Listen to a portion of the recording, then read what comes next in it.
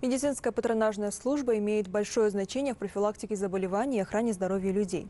Работа в этом направлении налажена на уровне требований времени. Именно поэтому есть возможность предотвратить немало медико-социальных проблем. Однако многие даже не осведомлены о деятельности патронажной службы, так как медсестры не навещают больных и порой даже не в курсе об их существовании.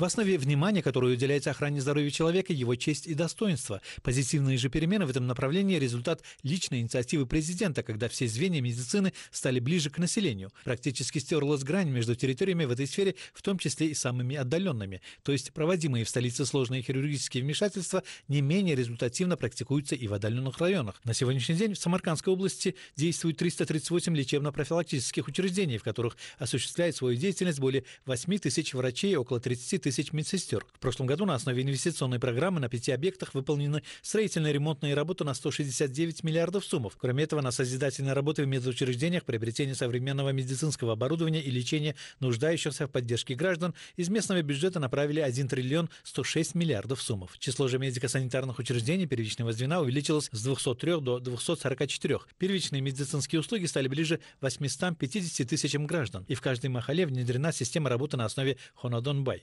организована деятельность 1960 медицинских бригад. Расположенные в селах 43 семейные поликлиники обеспечены современными аппаратами УЗИ и ЭКГ. В сельской местности наладили оказание 8 новых видов медуслуг. Семейная поликлиника Джомбой Джомбойского района охватывает 19,5 тысячное население, четырех сходов граждан Махали. В 2023 году на 1 миллиард 160 миллионов суммов построили дополнительные здания и укрепили материально-техническую базу медучреждения. Доволен переменами в первичном звене, совершенствованием патронажной службы и 84-летний житель руководитель Махали Джомбой Яхшибой Норкулов, тем, что медработники регулярно справляются о его здоровье. Приходят один-два раза в неделю, проводят обследование. Патронажные медицинские сестры справляются о здоровье. Мы очень благодарны. Спасибо нашему государству за открытие такой поликлиники и предоставляемые медицинские услуги. У меня высокое артериальное давление. То же самое и у супруги. Патронажные медсестры постоянно навещают нас. Спасибо им за это. Мы также благодарны патронажной медсестре, которая справляется о здоровье и моих внуков, дает хорошие рекомендации, пропагандируя здоровый образ жизни. У меня дочери 5 и 3 лет. Они также под контролем медработников, которые также обеспечивают необходимыми лекарствами. Измеряют рост и вес моих детей. Исходя из этого, дают необходимые советы по правильному питанию. Признаться, не везде деятельность патронажных бригад организована так, как надо. Наша съемочная группа побывала в Махале Тут, жителям которой медицинские услуги оказывает пятая семейная поликлиника. Поинтересовались тем, когда в последний раз приходили представители патронажной службы. Патронаж... Патронаж приходил в начале этого месяца, кажется. Точно не знаю, может домашний знать что-либо об этом. Есть младенец, приходили осмотреть его. Не знаком с патронажной сестрой. Была у нас патронажная сестра, Нодра ее звали. Она приходила. После того, как она вышла на пенсию, никто не приходил. Лишь оповещают о прививках детям. О нашем здоровье никто не справляется. Новая патронажная медсестра не приходила, мы ее не видели. Не может быть. Многие в это время находятся на работе.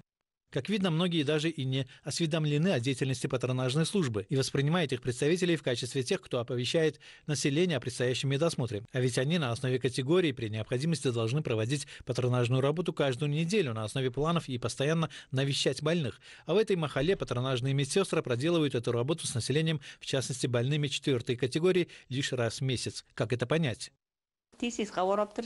Они должны часто приходить, но, видимо, нет для этого времени.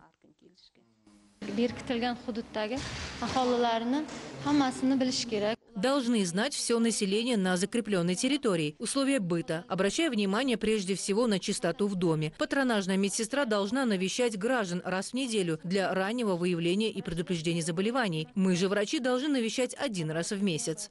Чтобы получить ответы на вопрос, обратились и к ответственным лицам пятой семейной поликлиники. Недостаточность сумок с принадлежностями для патронажных медсестер, разумеется, отрицательно сказывается на деятельности в этом направлении. В сумке нет только календаря для определения беременности у женщин. Вложим и его.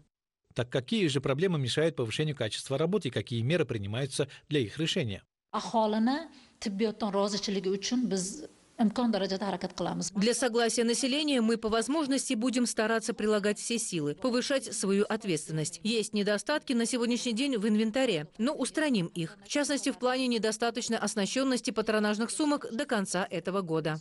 В сфере медицины проводятся невиданные доселе реформы, что можно видеть особенно на примере создаваемых условий в первичном звене, новых механизмов работы, направленных на достижение согласия народа. Однако от встречающихся на отдельных территориях, на первый взгляд, незначительных недостатков и пробелов падает тень на позитивные перемены во всей системе. Ответственные лица должны серьезно задуматься над этим и сделать соответствующие выводы.